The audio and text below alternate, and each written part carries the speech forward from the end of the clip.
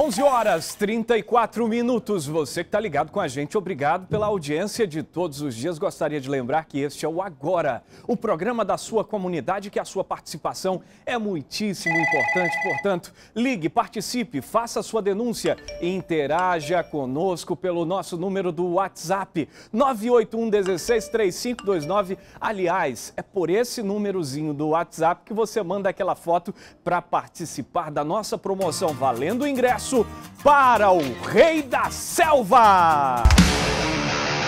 Casa cheia. Torcida empolgada. A quarta edição do Rei da Selva Combat foi realizada na quadra da Escola de Samba da Aparecida. 11 lutas.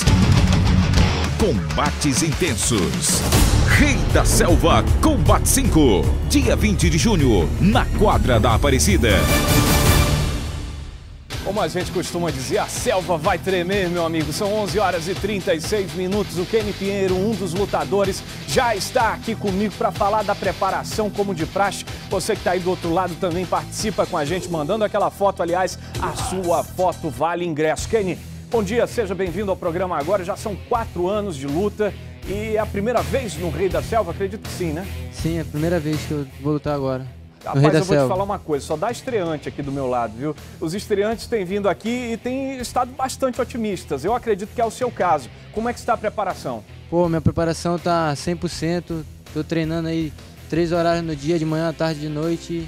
E no dia lá vou estar tá bem mais preparado ainda. E é sobre essa preparação que a gente vai acompanhar em detalhes agora na tela, no vídeo 11:37 junto com o Kenny. Solta aí, diretor.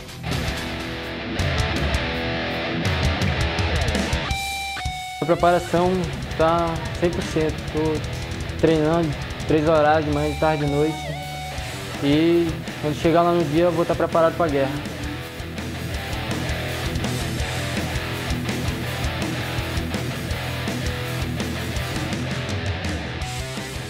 Dito que se a gente tiver treinado, né, a gente vai chegar lá e vai fazer uma boa luta de qualquer forma, independente da vitória ou da derrota. A gente está preparado para proporcionar um bom espetáculo. Para ele estar tá preparado, porque no dia lá eu vou estar tá bem preparado e que vença o melhor.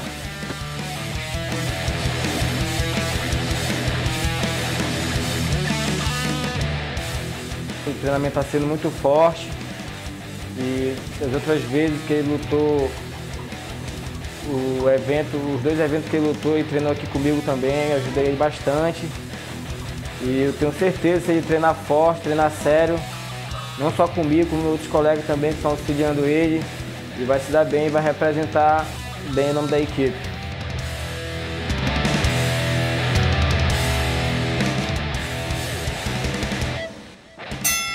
Muito bem, esse foi o Kenny Pinheiro, 11:39. Márcia Lasmar, quem está aí com você? Eu estou aqui com Vitor Castro Amaral, que ganhou o Rei da Selva no ano passado e vai disputar aí com o Kenny, que tem, luta dois anos, né, Vitor?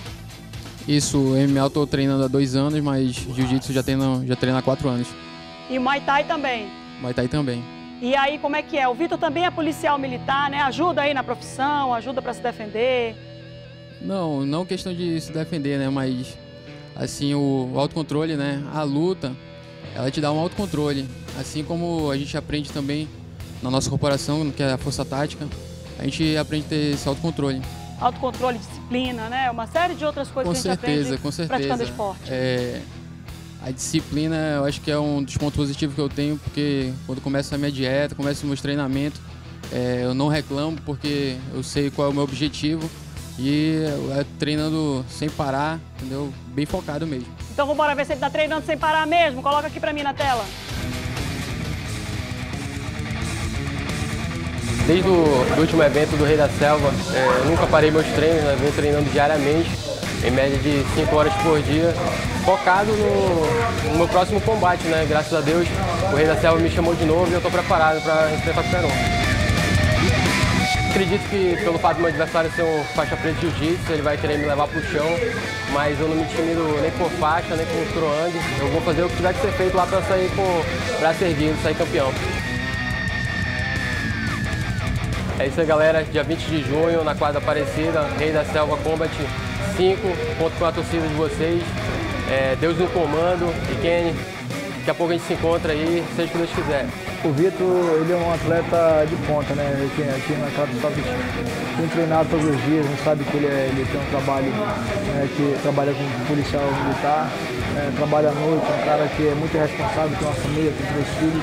Mas todo o tempo de folga que ele tem, ou pela manhã, ou pela noite, pela tarde, ele está aqui na academia treinando, treinando boxe, treinando MMA, fazendo a parte funcional de força, né, circuito, para melhorar o desempenho dele.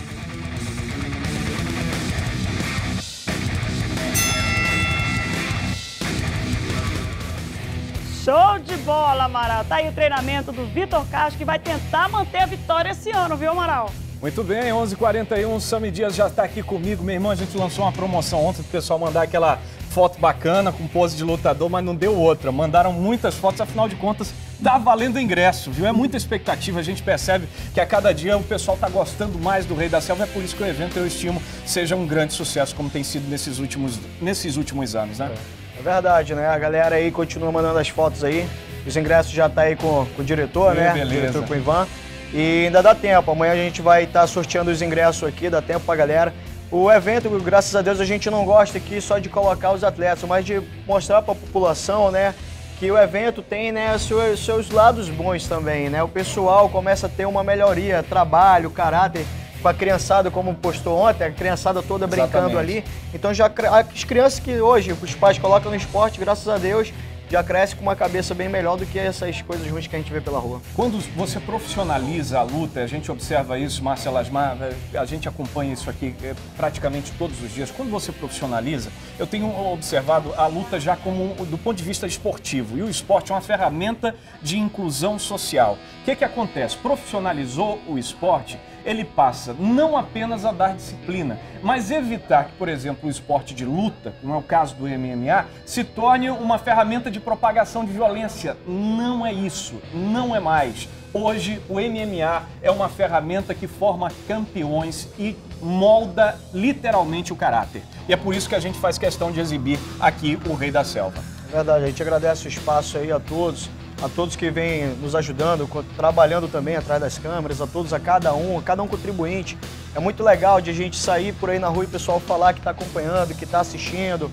Tem gente também que está nos outros países também mandando a logo Bacana. do Rei da Selva, né? Então, pô, tá um trabalho bem, bem legal. E atrás dos bastidores também, quando a gente chega, os próprios atletas que vão se enfrentar, pô, os dois conversando e tal. Meu irmão, na hora da luta só é no dia da luta mesmo. Ontem a gente estava falando sobre isso aqui, essa importância que, que tem todo o evento o Rei da Selva para trazer essa conscientização. A gente vê que muitos dos, dos competidores, ontem, ontem tinha criança aqui, quer dizer, é uma influência muito positiva para todos eles, né? É, é verdade sim, né? As crianças, como eu falei ainda agora. É... Muitas, muitas cara, fotos das crianças ali. Meu filho ontem tava até, pai, eu quero, me leva. Cara, as crianças hoje é o nosso futuro de amanhã. Né? Verdade, então, verdade. se a gente tratar com carinho essas crianças, colocar no esporte, não né? só na luta, né? No futebol, na natação, tem que fazer alguma coisa, né? Tirar aquela energia daquela molecada pra e dizer para elas que a luta é só no tatame. Fora e... da luta Agora eu percebi que o senhor já está perdendo peso, viu? Na, na, na preparação tá, pro né? evento. Ah, rapaz. Tá também na dieta. Ah, tá acompanhando a dieta do Amaral. A encarada é contigo, Marcelo. O Vitor tem que perder aqui peso que só vem cá, Vitor. Vem cá o Kenny. Kenny. Vamos lá, vocês aqui, faz aquela encarada, aquela encarada Sem show contato. de bola. Isso eu acho isso. bicho, isso aí. Rei da Pronto, Selva Combat 5. Você está acompanhando mais dois lutadores no detalhe da tela para você. Kenny Pinheiro, Vitor Castro, em mais uma mega edição de evento de luta da região norte.